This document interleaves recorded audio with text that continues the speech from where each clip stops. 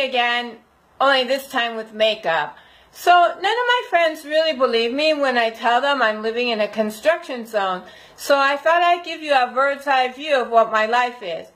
Now if you know me, it's kind of, um, I don't know, crazy because I'm very detail oriented. I'm sort of obsessive about having things neat and organized. And doing this apartment has given me sort of like this inner strength to not be such a fanatic about how things need to be.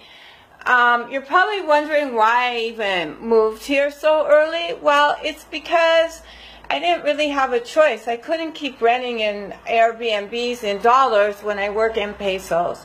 So I'm going to show you what my place looks like. Okay, you enter in this door. Ta-da! And this, we're going to go look at what will be the kitchen. I guess I should turn a light on here. It's kind of hard to walk because there's newspapers and paper all over. Okay, this is my kitchen. Yes, can you see?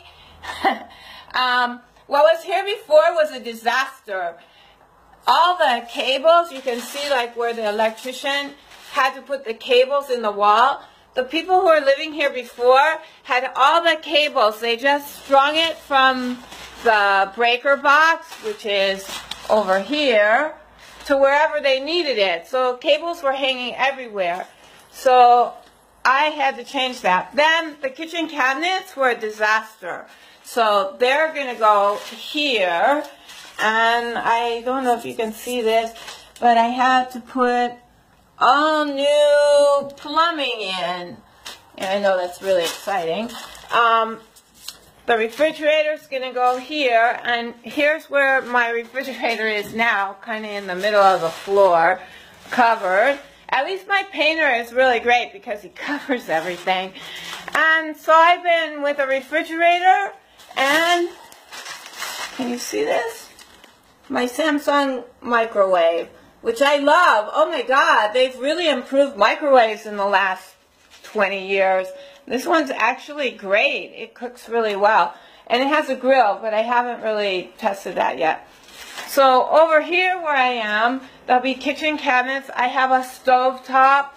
And then over here, which doesn't, it's kind of hard to do this, which doesn't look like anything.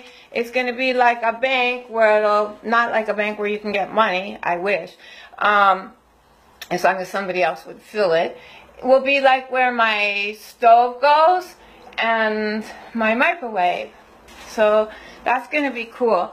And then I closed in the stairs for two reasons. One, I needed storage. Two, I don't like to see Jerry Brown's litter box.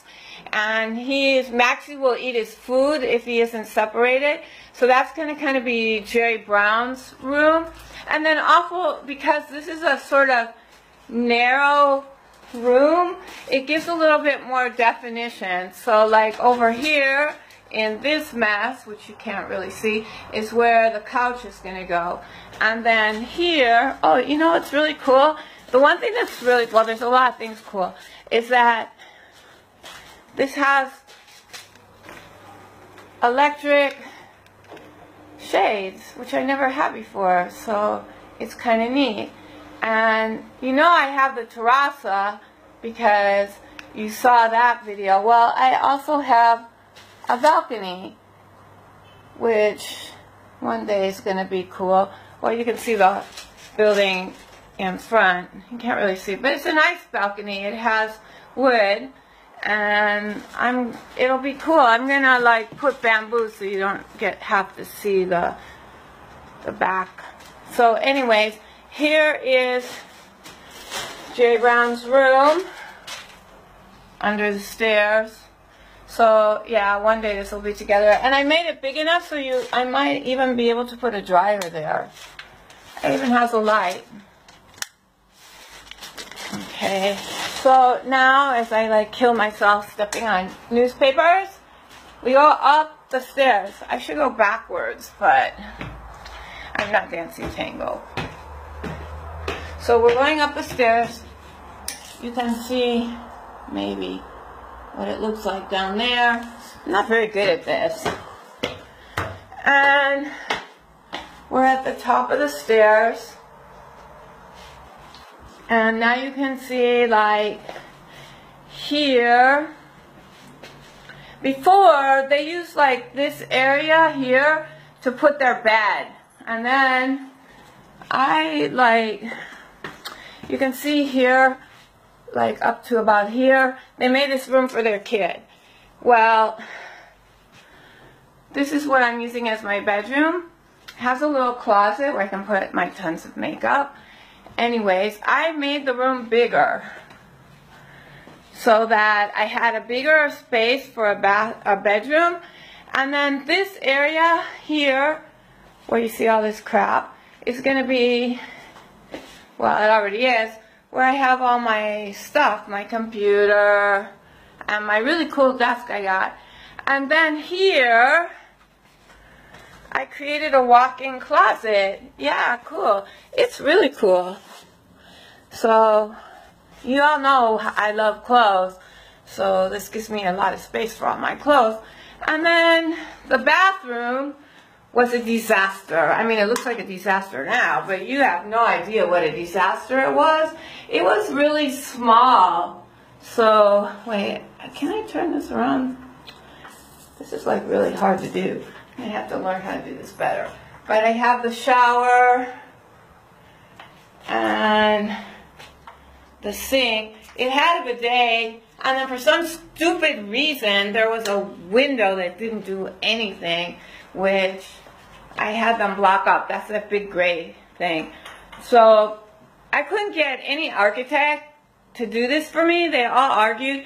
Like over here, where you see this on the door, I made the opening wider, and I'm going to put a barn door there. It's being made because to have a door go into the bathroom, it just was like wrong, wrong, wrong.